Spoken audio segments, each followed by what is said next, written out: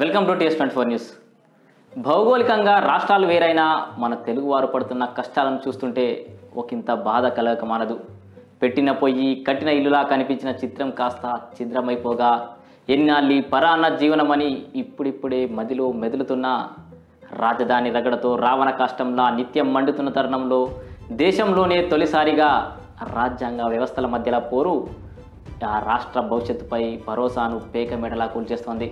పంచాయతీ ఎన్నికల కమిషన్పై పంచాయతీ శృతి మించుతోందా?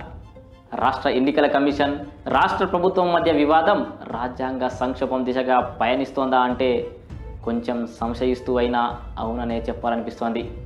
కానీ విని ఎరగని రీతిలో హైడ్రామా ఆంధ్రప్రదేశ్లో నడుస్తోంది. కేంద్ర ఎన్నికల సంఘానికి ఉన్న అధికారాలు రాష్ట్ర ఎన్నికల కమిషన్కు లేవా?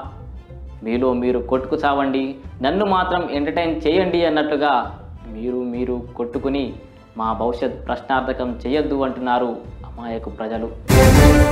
పరిపాలనా సౌలభ్యం కోసం ఏర్పాటు చేసుకున్న వ్యవస్థలన్నీ అస్తవ్యస్తంగా పనిచేస్తుంటే ఒక్కోసారి ఈ వ్యవస్థలు అవస్థలు ఎందుకా అని అనిపించక మనదు. Stay tuned TS twenty four news ఆత్మగౌరవ ప్రతీక రమేష్ పోతరాజు.